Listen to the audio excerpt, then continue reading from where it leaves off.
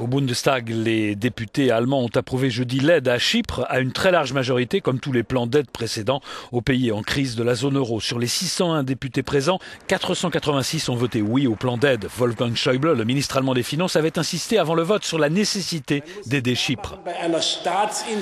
Si Chypre avait été mise en faillite, il y aurait eu un fort risque de contagion à la Grèce, mais aussi aux pays qui sont aidés actuellement et à d'autres pays jugés à la limite de la stabilité par les marchés financiers. Dans d'autres pays de la zone euro, un vote du Parlement est nécessaire pour pouvoir libérer l'aide à Chypre. C'est le cas en Finlande et en Autriche. Les députés allemands ont également approuvé l'allongement de la durée des prêts à l'Irlande et au Portugal.